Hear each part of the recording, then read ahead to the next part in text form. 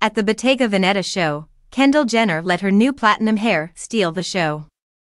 Among the many famous people present at the Bottega Veneta RTW Spring 2025 show on Saturday during Milan Fashion Week in Italy was Kendall Jenner.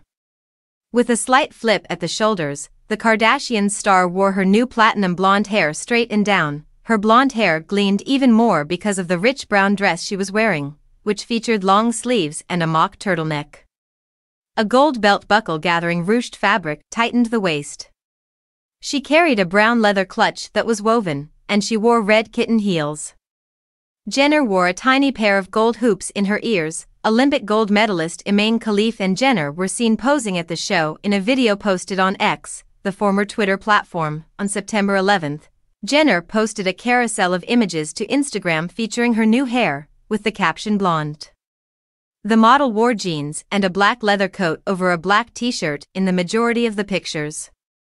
Jenner's hair was combed down in certain photos.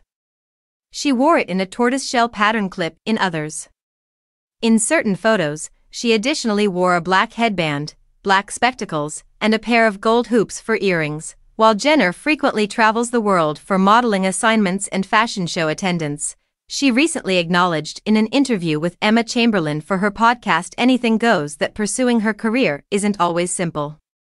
I won't sit here and claim to have had the most difficult journey.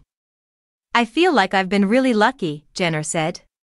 However, I've also faced a unique set of difficulties, like being overworked or not landing a job that I truly wanted.